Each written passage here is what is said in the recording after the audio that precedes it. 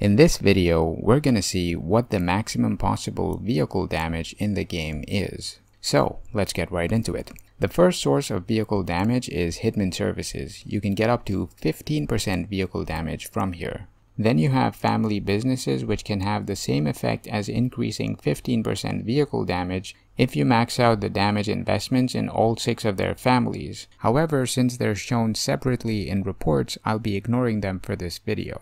Then there's the crew rank feature which gives you 15% more vehicle damage. Then there are emblems. As usual, we'll be using the storm emblems that give you 1% more vehicle damage each and since these emblems can only be equipped on the legendary set, that means we cannot equip them on our Godfather's equipment.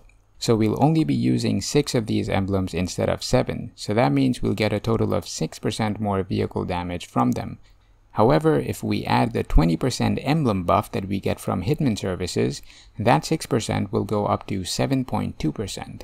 Then you have clan investments that can give you 10% more vehicle damage. You have vigilante passive skills that can give you up to 35% more vehicle damage.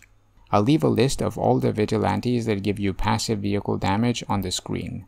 Then there are vigilante active skills. For this, you'll be using maxed out Seba along with either maxed Patrick or maxed Douglas. This is because Seba gives you 30% more vehicle damage, while Patrick and Douglas both give you 25%. So in total, you'll be able to get up to 55% vehicle damage from Vigilante active skills. Then you have Babes. Babes can give you up to 135% more vehicle damage in the game. Then there are medallions. As usual, medallions give you 1%. However, since you can have up to 2 medallions equipped at a time, that means you can get up to 2% more vehicle damage from medallions.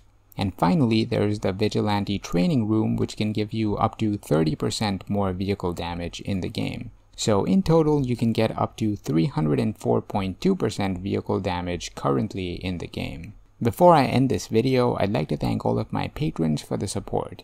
You can find my Patreon link in the description below. Thanks for watching the video guys, and I will see y'all in the next one.